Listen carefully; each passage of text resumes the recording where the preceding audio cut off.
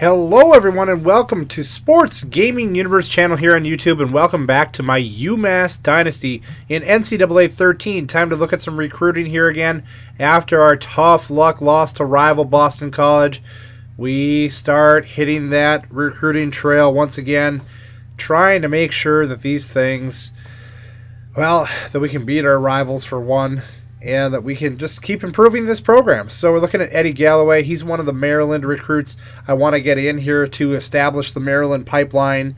So uh, he's probably the best bet at the moment as we're number one on his list. He's a defensive end, 73 overall, and we could definitely use his talents. So we're looking at that, as well as others here. You see Pete Pitts, the wide receiver four star, but he's dropped to a 67 overall. We're going to scout him 100% to CEO, and he drops even farther. So I really have no need for a 64 overall wide receiver right now. We've been lucky enough to stock like 70 and over for the most part at the position, so we're just uh, going to go away from that. Isaac Stover, the number two quarterback overall.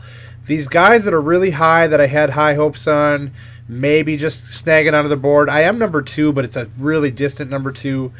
Uh, same here with Tremaine Daniels, the number one overall center. We're probably going to drop off the board quickly for those two because we're probably just not going to waste the time. Although we do get some points with Tremaine Daniels there.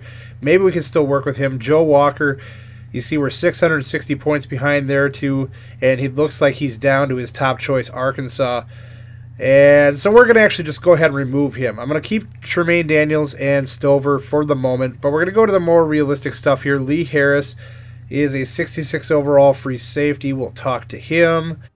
As well as Joel Meadows, the athlete here. We're number one on his board. We just knocked Texas back a little bit while gaining 505 points. We'll take that. He's a 74 overall. Could definitely use him. Max Bush. Who wouldn't want Max Bush, right? At middle linebacker. He's the number 13 middle linebacker prospect, and we're trying to work on him, not getting quite as much progress there as we are third behind Tennessee and Rutgers. So Ernest Spicer, another 66 overall free safety that we have targeted. We are number one on that list, so we'll continue to talk to him. So that's basically a rundown, the highlights. Throw Corey Harvey in there. Also, he's one of the other four Maryland guys I'm targeting. We're number two on his list. So that'll round out recruiting here. We're going to get into the game against 0-3 Toledo. So it is game day. It is time to travel to Toledo. They are 0 3, which is a little surprising. And I kind of usually think of Toledo as one of the front runners in the MAC. Maybe that's not as true as it seems to be in my mind, but it seems like they're always making bowl games and stuff. So to see them 0 3 kind of caught me off guard. But hey, the last team we played was uh, winless, and look what happened. Boston College came in and beat us by the slimmest of margins, but hey, still, it was still a loss. We're kind of still licking our wounds, but it's time to get out there and get right back at it. And handing off to Jim Mitchell will be our first course of action for the day. He only gets two yards, second and eight now. Wesley Collins is under center and looking to throw. He's got a little pressure as he rolls to the right. He'll just dump that off for a quick three yard gain. Third and five now is where you got to convert. Wesley Collins quickly to his tight end. Fosell makes the catch and does just barely get the first down. So in traffic, he's able to make that catch, hang on, and move the chains for UMass, allowing for some more offense here and some more ball control. So what do we do next? We hand off to Jim Mitchell out to the left. Oh, that's not going to take him down. Look at him squirt out to the sideline. And he's past midfield and into Toledo territory. Good run on the second effort here. It looked like he may get dragged down right there, but nope. Look at that. Look at him turn the legs, and he keeps the balance, and all of a sudden, he uses that speed to the outside to get a big first down for UMass. Crowd still a factor here, as you see in the play calling, but Jim Mitchell will quiet that down with another eight-yard run right there. Third and nine now later in the drive. What can Wesley Collins do? Well, uh, nope, that's not going to get it done. It'll be fourth and nine. Bring on Patton and the kicking team. So they are next out on the field. He's got the distance, but it never does straighten out and get inside those goalposts. Missed kick and a missed opportunity on the first drive of the game. So the defense has to respond here. Harrell goes play action and will hit his man over the middle for a first down. So Toledo moving it to start here. They're going to hand off out of that shotgun, and that's another eight yards. Second and two now. And uh, we're going to see another play handing off.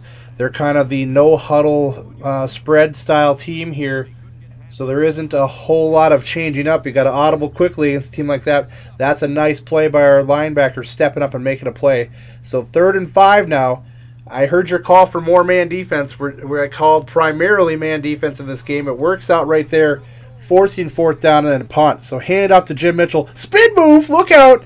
Grab your jock, pick that jock up on the way back to the huddle there, buddy, because you just got spun out of your cleats. So nice play by Jim Mitchell to get a little bit of extra yardage after utilizing the spin. So now second and seven. Wesley Collins is going to go play action and very quickly throws to Howard, his other tight end, who makes a nice catch and first down. Nice crisp play there by the UMass offense. Taking the fullback's lead there, but he bounces out a little bit wider is Jim Mitchell. Going to get four yards. It's now second and six. Looking for a pass play here. It's a screen. They're bringing everybody. It's perfect timing. Look at the blocking up front. He's going down the sideline inside the 10, dragging people to almost the five yard line. Just outside the five yard line now, first and goal. He's got the fullback lead block and he's in the end zone. It's actually Jordan Broadnax spelling Jim Mitchell there after the long run on the screen. They're in the end zone there, set up by that great screenplay. UMass 7, Toledo nothing. But the Rockets aren't going to give up that easily. They've got Coleman on their sides after, after all, my son Coleman's favorite team. The Rocket Ships. Yep, Toledo Rockets. So they got a member of the Nadasfan household rooting for him today. But no, he's not going to like that play. Reed steps in front of this and picks it off. Great reaction by my defensive secondary. Oh, yeah, there we go. Toledo's coach not happy to see that at all. Let's watch the replay. Nice little lean in there to the passing lane to pick it off. That's very good coverage. And that's going the other way here for UMass. So second and 10 now, Wesley Collins. Play action once again. What's he got? He's got some pressure in his face, but he's going deep. One on one. Knocked away. He gave Ronnie Parker a great shot at it, but if he throws the ball a little bit farther and keeps it in bounds, Maybe they connect for the touchdown. Third and 10. Another open receiver, possibly, but it's underthrown and it picked off. Toledo thwarts that chance. Two deep balls.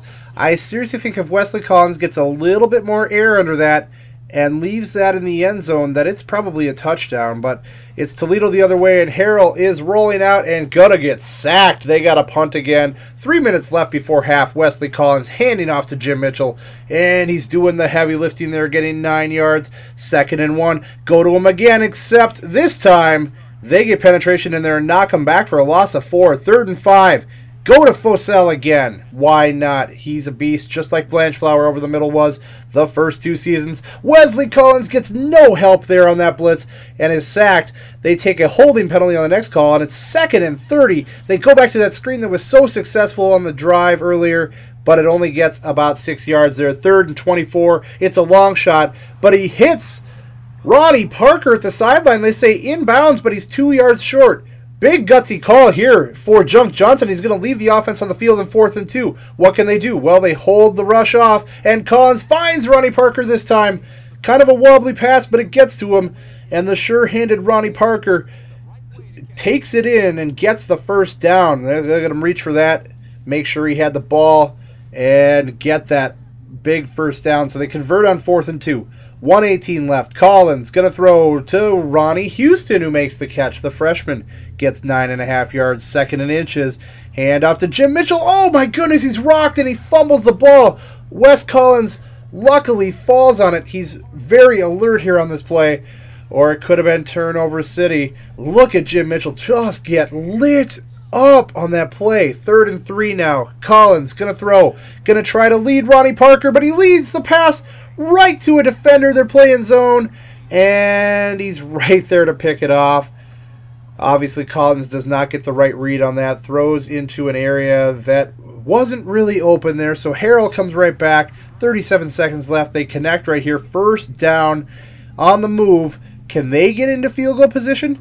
Maybe get some points. They lob this down, and Ray Smith picks it off. Oh, remember, he had the huge opportunity to pick off a pass that might have changed the outcome in the BC game. He gets this one here.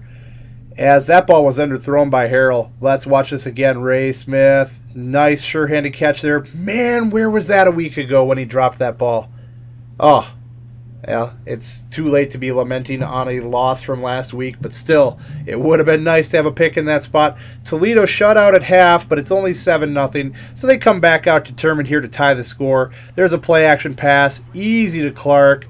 That's going to get them a first down, and they're near midfield. So on first and 10, Harrell's going to run the option, nowhere to go. First, they take the pitch man, and then they corner the quarterback. Here they're going to hand off, and that's actually a pretty successful play on third and six right there. Gets them a first down and more. Toledo driving a little bit, first and 10. Going to send a man in motion and hand off to him on the end around. Franklin's going to get good yardage down to the 20 yard line of UMass. Third and nine now. Can the defense make another stop? Harrell's looking to throw. He's got all sorts of time. He throws to the end zone. And he had a man there, but he overthrows it out of bounds. So they're going to have to try a field goal here Fourth and nine. Their field goal attempt is good. That's something UMass couldn't do on their first drive was convert on the field goal. So it's now a 7-3 ball game midway through the third quarter. Collins going to fake to Mitchell. He's going to throw, and he throws it out of bounds. Really nothing there to Ronnie Houston. Probably best it was out of bounds. Third and eight now out of the shotgun. What can Collins do? There's a blitz, and they're going to get him. Pick your side. He was going to get smushed by somebody, and that's exactly what happens. They bring corner blitzes, and they get to Collins before he can get the ball delivered to anyone. So there you go. That drive ends with a punt. So now back to Toledo's offense, looking to actually take the lead at home now. But look out, it's picked off. It's Eddie. Phil. He steps in front of it, and he's going to the house. No one's going to stop him. Defensive score, pick six for UMass. There's a very nice turn of events on a day where the offense is struggling to score. The defense gets one and puts some separation in the scoreboard between them and the Rockets. So you see Eddie St. Phil back to the end zone with this one. That's a pick six, folks, and UMass. Well, the defense has lifted a weight off of themselves and off of this offense to produce now. Now, they just need some ball control and finish this game out. 14 to 3. Harrell looking for the quarterback keeper. Nope. We were looking for that quarterback spy on for a lot of this game. Third and four now.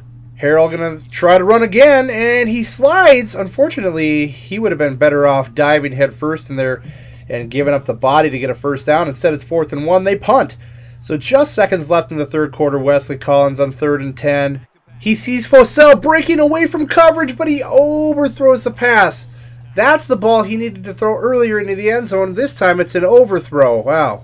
We just got to get the touchdown there. Harrell is throwing underneath, and that's a huge vicious hit by Ray Smith.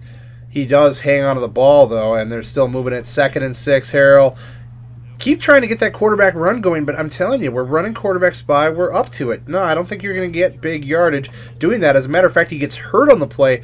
Backup Blackburn comes into the game and throws a really nice ball to Jones here. Actually, not too much of a drop off. It seems like Blackburn's got quite a bit of an arm on him as well. Randy Smith jumps outside and then gets pummeled. And this pass to Jones once again. This Blackburn's got the touch. I don't know. Maybe they don't want to go back to Harrell if he comes back. So first and goal now. Blackburn going to run that option and keep it. Now he's hit pretty hard and will be taken down. It's second and goal now. On second and goal, Blackburn going to throw to the outside there to the sideline. Nope, they're going to stuff that too. Third and goal now. Can they punch it in? Kind of a little bit of roll to the right, and he throws it out of bounds because he sees nothing he likes. Fourth and goal now. They are going for it as it is kind of late in the fourth quarter. Blackburn has got Randy Smith in his face, and he's thrown quickly. It is knocked down, and that's a turnover. UMass with the goal line stand takes over with just over two minutes left in the game. Hand off to Mitchell, who gets undercut. And it'll be third and four now. Looking for that money pass to Fosell. He is money once again. Makes the catch. First down, just barely. Jim Mitchell ripping off a good chunk of yardage for first down there. Toledo, no more timeouts. 2.08 remaining and Mitchell following his lead block from the fullback there. Coleman gets him a nice block, and he is able to get another first down. This game all but over now. Look at that. He gets undercut again. Going for the legs there when tackling him. So running down this clock is what we need to do now. Hand off to Mitchell. There you go. Third and nine. And it's a kneel down because we've killed the clock sufficiently. It's a UMass Road victory. We're up to 3 and 1 now after taking out now 0 and 4 Toledo. On the road, that's our first conference game in the MAC, and it's 1 and 0 in the MAC. Hey, maybe we can contend for the MAC championship this year, get into that MAC championship game. That'd be nice, wouldn't it? Well, it's in our reach. We're three and one. We played well in. We almost went undefeated in our non-conference, but BC got us in that rivalry game. So, corner Ray Smith is your player of the game. Three tackles in that pick. I don't know. I almost would have gone Eddie St. Phil the way that pick six really changed the complexion of the game. But hey, I'm not going to argue. It was a good game and it's a win in the books. So. We will see the recruiting for this week in the next episode. That's kind of how I've broken it down. Do the recruiting, flip the week, and play the game. So uh, next up is Northern Illinois. They're 0 3 as well. Crazy things going on. Northern Illinois, the same one that was in a BCS Bowl. All right, we'll come back for that one next time, guys.